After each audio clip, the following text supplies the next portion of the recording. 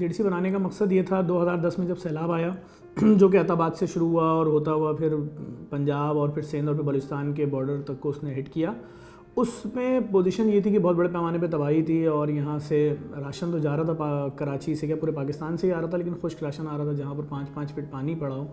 वहाँ पर आप कैसे उस खाने को पकाएँगे? जहाँ सारे दरख्त की लकड़ियाँ गीली हों तो वो आग कैसे जलेगी? तो उस वक्त हमने इस चीज़ को महसूस किया और हम जो उस वक्त काम कर रहे थे, वो हम कर रहे थे के डब्ल्यू सी के नाम से। खैर वर्किंग कमेटी के नाम से हम काम कर रहे थे। उस वक्त हम ब्लड जमा करते थे सिंध से आए हुए मरीज़ों को, जो बेचारे कराची में, जिन्हें से अब्बासी में इलाज कराने आते थे, उनको मुख्तलिफ़ जामियात में कैंप लगा के हम ब्लड जमा करते थे, सनी ब्लड बैंक में, और वो खून फराम करते थे। तो फिर हमने बाकायदा तौर पर इस इदारे को डिज़ास्टर मैनेजमेंट के तौर पर रजिस्टर्ड कराया।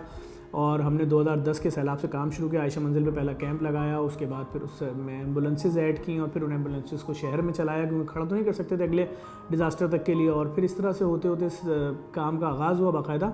और हमने कोशिश की उन तमाम शुबों में काम किया जाए जिसमें दीगर एन काम करते हुए या तो झिझकती हैं या ज़िंदगी और मौत के मसले होते हैं, ख़तरात पेश होते हैं बिलखसूस।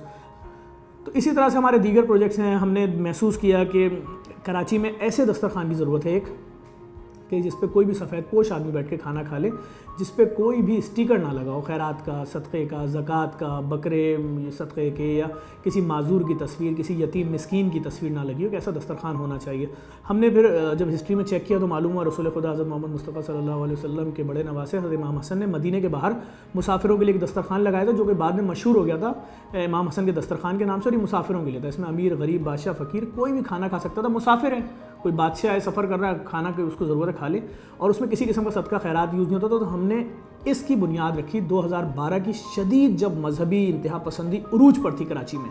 जब लिसानी इंतहा पसंदी उरूज थी कराची में हमने उस वक्त इसकी बुनियाद रखी हमने नुमाइश चौरंगी के ऊपर तंदूर लगाए दो बड़े और हमने ऐलान किया कि कोई भी शख्स खाना खाए अमीर गरीब और अगर कोई बेरोज़गार है घर दस पंद्रह बीस पच्चीस रोटी भी लेके जाना रहे लेके जाए कोई मसला नहीं। वहीं खाना पक रहा है खिला रहे हैं। आगे बड़े मामला हमने देखा महसूस किया कि एक बहुत बड़ा काम है हमारी हमारे कराची की मुख्तलिफ़ आबादियों में, हमारे फ्री आईटी सेंटर्स हैं जिसमें नयाबाद में हमारे आईटी सेंटर पर फायरिंग हुई थी, उसके बाद हमने उसको थोड़ा सा रोक दिया था। बाकी हम कोशिश यही करते हैं, मुख्तलिफ़ कोर्सेज़ जो मुख्तलिफ़ इलाकों में, मुख्तलिफ़ इंस्टीट्यूट्स में, बीस, पच्चीस हज़ार, तीस हज़ार के, वो हम तीन सौ रुपये में यहाँ कराएँ और कोई भी शख्स, अमीर, गरीब आके पढ़े। इस यही वजह है कि हमने अपने इदारे में, या हमारी आज तक भी ये पॉलिसी नहीं रही है कि हम किसी मिसकीन यतीम की तस्वीर अपनी किसी प्रोडक्ट पर लगाएँ। लोगों के दिल बहुत अच्छे हैं। बात ये बस खाली लोगों की आँखें खोलनी होती हैं। हमारे पास जो मुख्तलिफ़ जामियात के बच्चे आते हैं, रोज़ाना तीन से चार जामियात के बच्चे आते हैं अपने सोशल असाइनमेंट्स के लिए, हम उनके भी जहन खोलते हैं। उनसे यही बात पूछते हैं कि आपके पास अगर कोई यतीम मदद मांगने आ रहा है, उसका नाम क्या है? कोई बेवा मदद मांगने आ रही है, उसका नाम क्या है? एक सड़क पे ज़ख्मी पड़ा, आपसे मदद मांग रहा है, उसका नाम क्या है? एक लाश पड़ी हुई है, उसका हुरमत है, उसका नाम क्या है? तो वो परेशान हो जाते हैं, जी, हमें नाम नहीं मालूम। तो फिर हम उनको यही बताते हैं कि जो बच्चा आगे बोल रहा है, मेरा बाप मर गया, मुझे रोटी खिला दो, उसका नाम यतीम है।